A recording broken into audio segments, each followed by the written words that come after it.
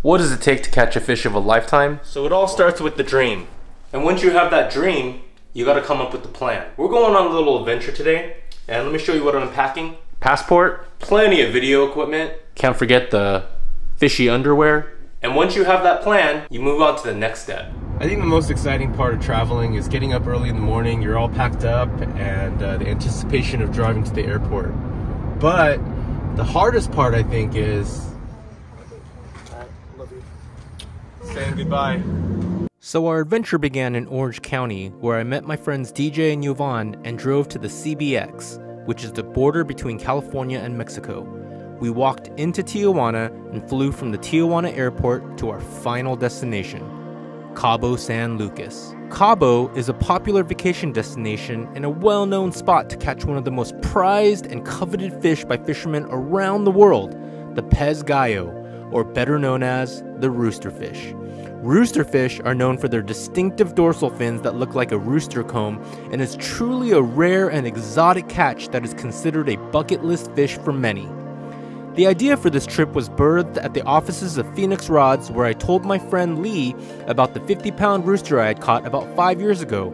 And when he asked if we could catch one if we went there, I said, sure, no problem. But the fact of the matter was that catching one of these prized fish was not going to be an easy task. But this was our dream for the trip to catch a rooster fish, and we were going to do whatever it took to try and get one. We had the dream, we had the plan, but the question was, could we execute the plan and bring it to reality? We arrived in Cabo and met up with Li, had dinner, got settled into our hotel, and got ready for our first day hunting for roosterfish from the Cabo surf.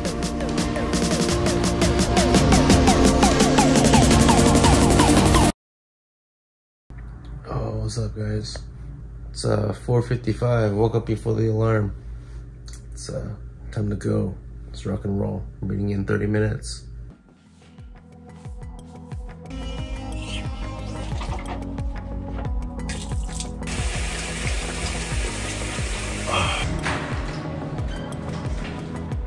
So our guide Martin from Shore Fishing Baja picked us up at the hotel and off we went to our first location at the beach. He gave us a few pointers as we were using much much heavier gear. Back at home we use maybe 9 to 10 foot rods at the most.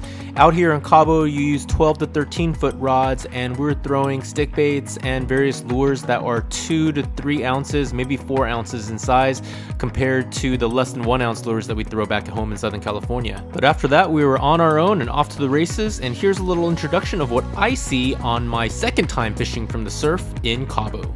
I've never been to this beach before, but surf fishing's the same. Find the structure, find the fish. It's the same deal. So I'm using uh, Martin, our guide's reel here. I don't have anything this big at home. This is a Shimano Twin Power 14,000, I believe. We're pairing that with the Phenix Black Diamond 15 to 35 with a 13 foot rod rated two to six.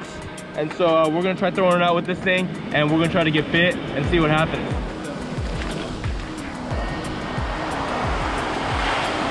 A um, suspending, uh, slow sinking, and we're just gonna work it in, just provide a steady action to it. And while you retrieve, what you can do is you can give it a little pause and get that thing to get that thing to stop. And uh, my first time here fishing Cabo, I'm gonna caught a 50 pound rooster fish. The bait's bo boiling right over it.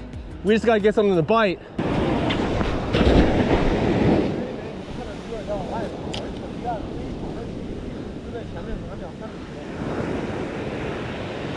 Oh, on!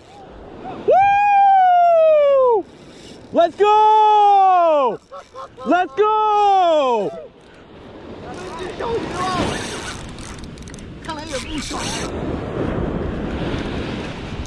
Oh, oh! Oh, he fell off! It's pretty good fish too. Got that bite, guys, that addiction. Just to show that we're doing something right. Now we just need one more bite. All right, man. So last night, last night, you guys saw me blog um, in the room uh, about the pressure and stress I had. All stoke aside, there was just this pressure of putting fish, you know, uh, sharing the sand, and we did it.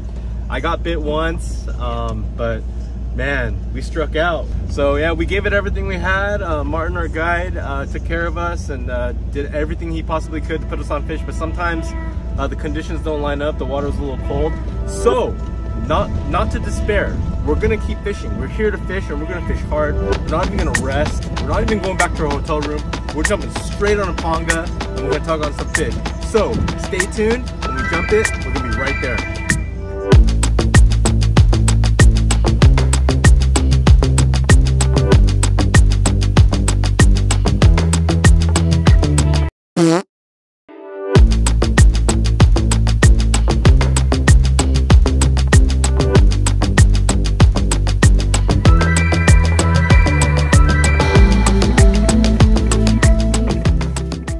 Kind of, what kind of fish is this? Got a little cabby ethos, they call them. What size hook is that? It's pretty big. Uh, probably like an eight. Like an eight, size eight hook. And you hook it up there. That keeps it real free. Little thread that they put on there.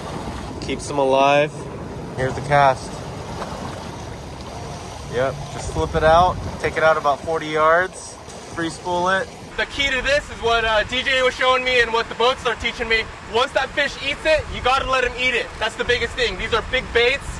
And so once they put it in their mouths, you gotta let them get it all the way down before you do anything. So once you feel that fish going, let it free spool. When they start shooting out, like DJ taught me, wait a good seven seconds and wait for them to fully commit to them and have it in their mouths. Then you engage and then you reel into it. We're using circle hooks, so no need to swing like Bassmasters, you know, son, no need to do that. Just pressure and uh, a fish will hook itself if you do it right and if you get a little lucky. So I'm not even gonna mince words, guys. It's been a really tough trip. Uh, one thing that I will say for sure is we're not quitting and we're just gonna keep casting and getting our lines out there and seeing what happens. So uh, we did catch a yellowtail today Hopefully it's not a yellowtail. and that was really cool. Li got that one in, and uh, we even ate it at the restaurant, which was a really, really neat experience, and it was really, really tasty too. Look at this. This is like perfect. It's still a little bit undercooked inside, which is what you want, because yellowtail gets super tough. Super legit. Super legit. I don't normally eat my yellowtail cooked, but I'd eat this. It's good. And uh, right now at this point, it's just all about just pivoting. It's uh, doing whatever we need to do to get a fish on the board. We're gonna keep going out there and hope hopefully tomorrow will be a good day. I'm gonna try to get some rest. It's not even nine o'clock yet, and uh, got to get up at five o'clock in the morning and uh, get ready to grind it out. So stay tuned.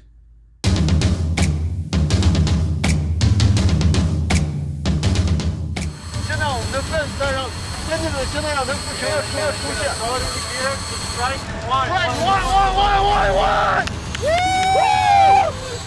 终于上鱼了，终于上鱼了，是在七八尺的这种大的浪涌，而且风速真的超过三十节。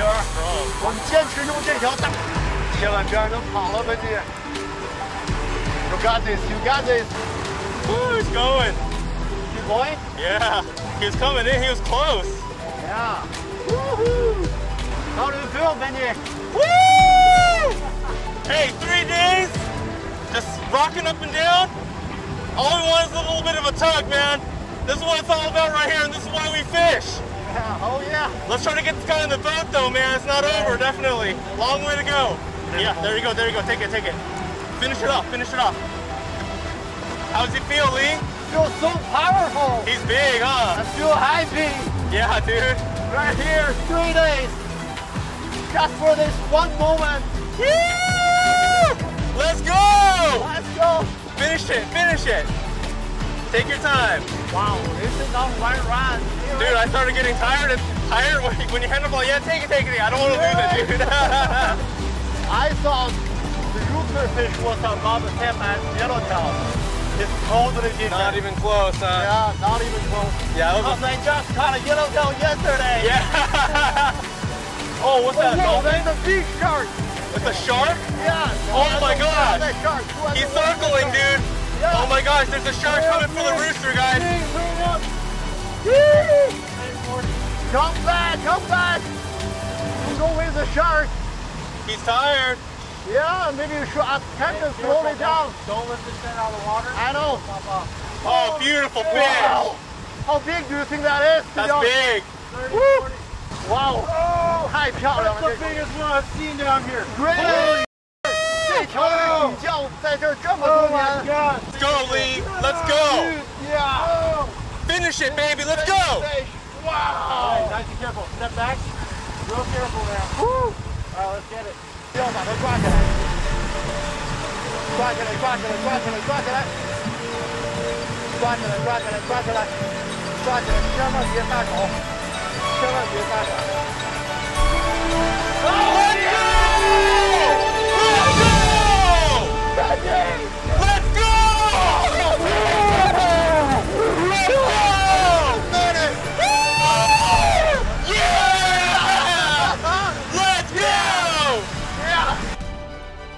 Had finally done it. 8 hours on the surf and 13 hours of trolling on the panga for a total of 21 hours of fishing with almost nothing to show for it before we were able to catch this rooster. But we weren't finished yet, as minutes later we got bit with another rooster that I was able to land, and shortly after that, Li brought in a yellowtail that was icing on the cake. It was an epic finale to what was turning out to be a disaster of a fishing trip. So, what does it take to catch a fish of a lifetime? 100% it was hope and belief. I'll be honest, after two days of dreadful fishing, I was exhausted and my body and emotions screamed quit. But we kept going, pushing through exhaustion and low morale, and we kept believing that something good would eventually happen. Was it luck? Absolutely. But I do believe what many say that luck is when preparation meets opportunity. And for me, I'll take that kind of luck all day long. My message for you today is it doesn't matter where you're fishing.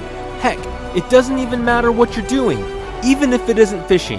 If you do your best to get better, you keep going out there with belief and commitment, it's just a matter of time before you get that catch of a lifetime. So stick with it and don't quit. I will never forget this trip for the rest of my life because of what we had to overcome to achieve success. Always remember, the shadow proves the sunshine, and the bravest thing of all is always hope. Thanks so much for joining me in this journey, and until next time, tight lines.